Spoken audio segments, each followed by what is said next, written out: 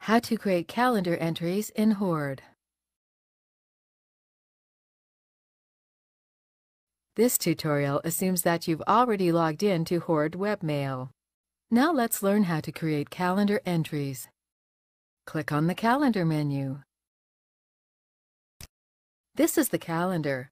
We can view the calendar in day, week, month, or year format. We're currently in month format. We can add a new event from the Calendar drop-down menu.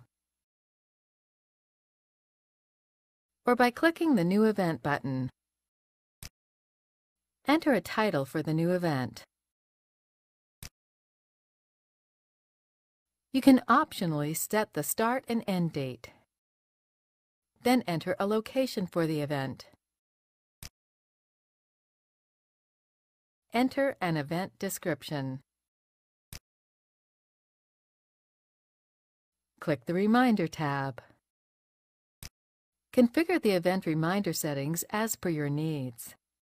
Then click the Repeat tab.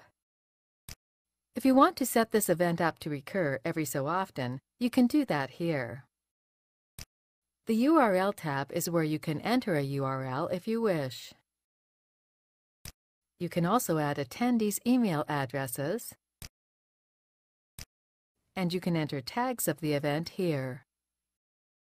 When ready, click the Save button. That's it! The new event has been created and can be seen here.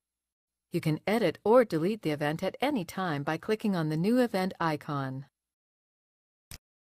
In the event window, you can edit the event. To delete the event, click the Delete button. The event we had created has now been deleted.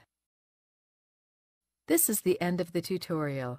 You now know how to create calendar entries in Horde.